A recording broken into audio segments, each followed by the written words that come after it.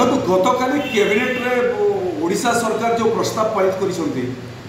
যে ওড়িশার চাষী মানকর সমস্ত ধান কিনা যাব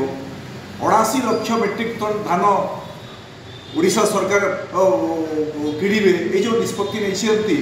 এটা ওড়িশার চাষী মানুষ প্রতারণা করা ছড়া কিছু নুহ ওড়িশার চাষী মানুষ ঠকিবা ছড়া কিছু নুহ গত থর দুই লক্ষ চাষী ধান বিক্রি করে পারে না যে টোকন ଥିଲା ଟୋକନ୍ ଲେସ୍ ହୋଇଗଲା ବା ଆର ବର୍ଷ ରବିରେ ଖରିଫରେ ପ୍ରତିବର୍ଷ ପାଖାପାଖି ଲକ୍ଷେ ଦେଢ଼ ଲକ୍ଷ ଚାଷୀ ଯେଉଁମାନେ ପଞ୍ଜୀକୃତ କରୁଛନ୍ତି ଧାନ ବିକି ପାରୁନାହାନ୍ତି ଏବଂ ଏବେ ହଠାତ୍ ନିଷ୍ପତ୍ତି ବଦଳାଇଦେଲେ ନିର୍ବାଚନ ବର୍ଷ ଆସୁଛି କହିଲେ ସବୁ ଧାନ ଆମେ ଚାଷୀ କରି କିଣିବୁ ଚବିଶ ବର୍ଷ ଭିତରେ ସରକାର କେତେ ଗୋଦାମ ତିଆରି କଲେ କେଉଁଠି ଧାନ ରଖିବେ ଧାନ କିଣିବେ ଧାନ ରଖିବେ କେଉଁଠି ଓଡ଼ିଶା ସରକାର କେତେ ଗୋଦାମ ଅଛି ରାଜ୍ୟ ସରକାରଙ୍କ ପାଖରେ ରାଜ୍ୟ ସରକାର ପାଖରେ ଗୋଦାମ ନାହିଁ କହୁଛନ୍ତି ଆମେ ଧାନ ରଖିବୁ ଏବଂ ସବୁଥିରୁ ବଡ଼ ପ୍ରସଙ୍ଗ ଚାଷୀମାନଙ୍କର ଯେଉଁଟା ଥିଲା ଯେ ଧାନ କଟିନି ଛଟିନି ଓଡ଼ିଶାରେ ହେଉଛି ଗୋଟିଏ କ୍ୱିଣ୍ଟାଲ ଧାନ ବିକିଲେ ମିଲର୍ସ ମଣ୍ଡିରୁ ଚାରି କେଜିରୁ ପାଞ୍ଚ କେଜି କାଟୁଛି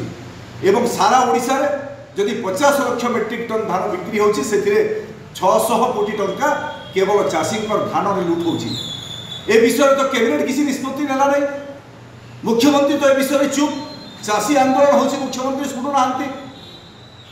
ମିଲର୍ସମାନେ ଯେଉଁ ପଇସା ଲୁଟୁଛନ୍ତି ନବୀନ ବାବୁଙ୍କର ଓଡ଼ିଶା ସରକାରର କେତେ ଭାଗ ସାର୍ ମଧ୍ୟ ଉତ୍ତର ଦିଅନ୍ତୁ ଏଇଠି ଛତିଶଗଡ଼ ପାଖରେ ଛୋଟ ରାଜ୍ୟ ଅଛି ଛତିଶଗଡ଼ ତ ପ୍ରତିବର୍ଷ ସତୁରୁ ଅଶୀ ଲକ୍ଷ ମେଟ୍ରିକ୍ ଟନ୍ ଧାନ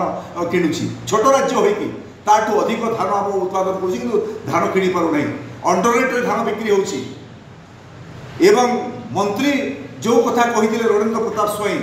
ସର୍ବନିମ୍ନ ସହାୟକ ମୂଲ୍ୟରୁ କମ୍ ଦରରେ ଯେ ଧାନ କିଣିବ ତା ବିରୁଦ୍ଧରେ ଫୌଜଦାରୀ ମୋକଦ୍ଦମା କରାଯିବ आज पर्यटन गोटे मिलर्स विरुद्ध फौजदारी मकदमा सरकार कले मिलर्स मानक बधु चंद्रिका छःश कोटी टाइम लुट होती शहे टाँचा बोनस देवी घोषणा कले मुख्यमंत्री चाषी को देना दुई हजार चौबीस तो ओडार सरकार को नवीन पट्टनायक सरकार को ओडार चाषी मैंने कड़ा जवाब देवे प्रस्तुत था